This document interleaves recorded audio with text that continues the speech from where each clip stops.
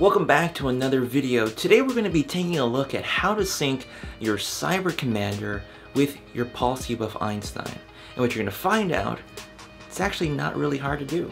Okay, so um, we're going to try and get our uh, Cyber Commander, which is this guy here.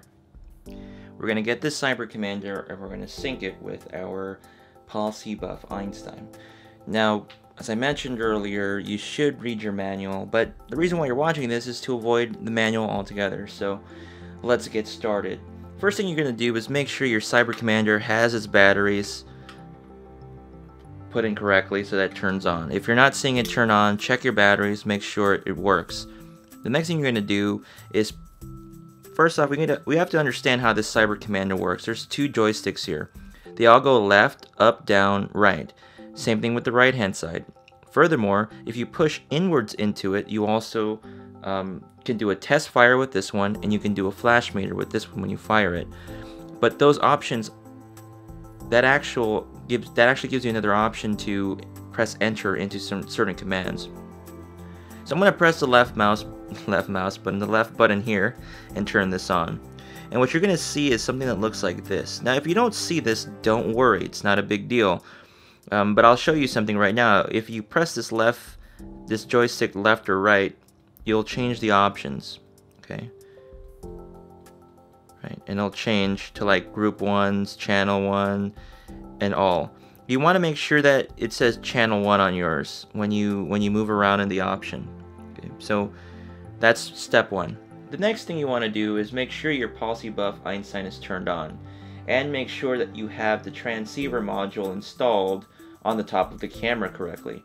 If you don't, you won't see channel 1 or frequency 1 options show up right here.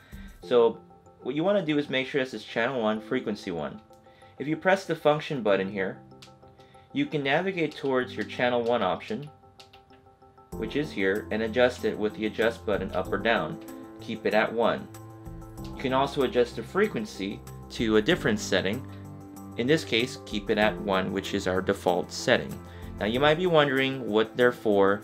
The different channels is for you to control different lights for different power outputs. So if you had two Einsteins, I would set one on channel 1 and I would set another one at channel 2. The frequency is meant for you not to um, mix signals with other cyber commanders. So if there are two photographers in the studio using two different cyber commanders, Photographer A will be on frequency 01, photographer B will be on frequency 02. This will make sure that the other photographer does not trigger your lights. Alright, so we got that squared away. Once it's on, it's got all the settings there. Um, we'll press the left button on this one, press inward. Now what we're going to do is we're going to use the right button and scroll right by pressing to the right using this joystick here. Once you're there, you're going to see some options at this gray, these gray windows. You're going to want to navigate to open memory, and to navigate you press up or down, you push up or down on this joystick, and then press in to the open memory option. Now right here, what you're going to see is a bunch of different options, and I don't know where you're going to land in the default, but to change your channel or groups, you move left and right on this little joystick. And what you'll see is studio channel, and then I'll say micro SD card. We want to ignore all of that stuff. So you can also hold the joystick and it'll move through the options a lot faster. And as you can see, the SD options changing. And the reason why I'm going through this is that it can be confusing. So just keep navigating and navigating until you see studio lights. So to be more specific, you want to make sure you sync the Cyber Commander from studio lights, um, but specifically from studio channel 01. Now ignore the fact that I have this little blue bar there. That won't be on yours if you haven't done this.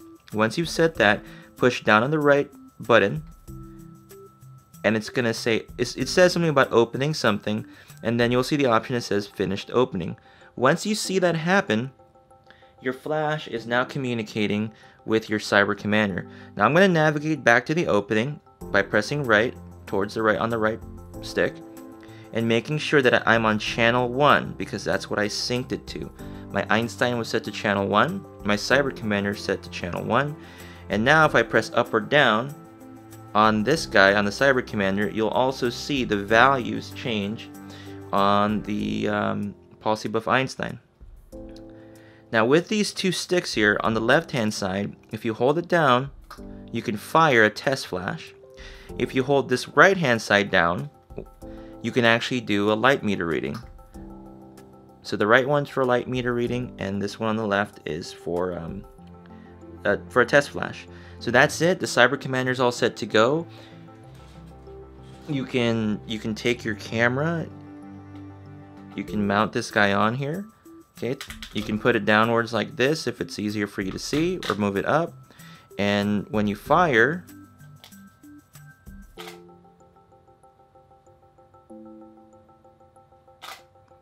right? When you fire the camera the lights will go off now. So you're all set and good to go. And when you're ready to change power outputs you just go you can hold this downwards you can hold it up you can click up or down and adjust your values and your settings. Now if you want to find out how to adjust some of these variables here you can go back into your menu and you know change your flash meter options and what have you. But that's for a different video and more than likely read your manual, but I do hope that this video got you going and got you started on how to sync your Cyber Commander and your Einstein together. Well, there you go. That's how you sync your Cyber Commander with your Paul C. Buff Einstein. Now, if you got lost in steps, make sure you refer to your video manual or your user manual because that's where all the information is going to be at and how to specifically customize it. This video was all about getting you out the door, ready to go, ready to shoot with your Cyber Commander and your Paul C. Buff Einstein. Now if you like this video, make sure you subscribe to my channel and stay tuned for our next episode. I'll see you guys later. Bye.